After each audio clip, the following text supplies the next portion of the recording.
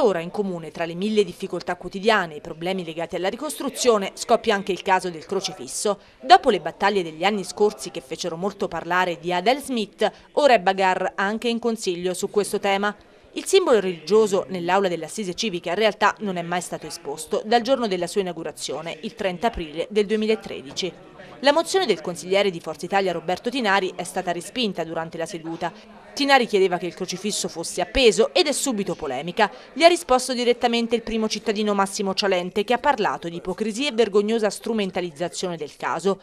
Sulla base di una sentenza della Corte europea Tinari chiedeva l'esposizione del crocifisso in aula, ma il Consiglio su questo punto pure è apparso spaccato. Nove voti a favore, nove contrari, un pari che consentirà però a Tinari di riproporre la sua mozione. Temono che qualcuno li osservi, ha ironizzato il consigliere di Forza Italia, ma loro non vogliono essere visti neanche da Gesù Cristo. Cialente replica, il consiglio è sovrano, se la mozione in futuro passerà, il crocifisso andrà appeso. Poi però ironizza anche lui, mi aspetto però poi dai consiglieri, da tutti, un comportamento da cristiani.